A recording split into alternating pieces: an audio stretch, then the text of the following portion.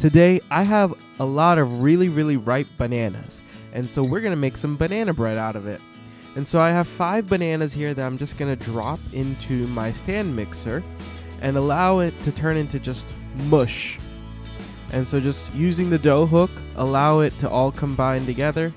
And then to our banana paste, we're going to add two cups of dark brown sugar. To this, we're going to add about a cup of whole milk.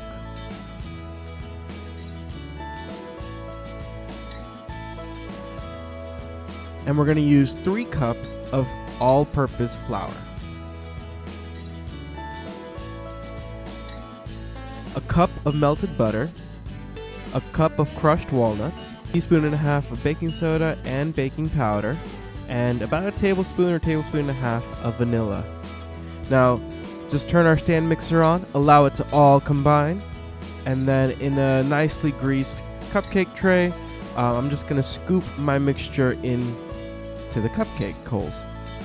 I'm doing this in a cupcake tray just so it's easier to eat afterwards. Now, optionally, you can add some chocolate chips on top before we bake this, but then we're going to put this into a 350 degree oven for about 25 minutes. And 25 minutes later, we have some golden brown banana nut bread muffin thingies. As you can see, if you open up this muffin thingy, it's nice and soft inside. Um, and it's really hot right now, but it still tastes really, really good. Hope you enjoy this one.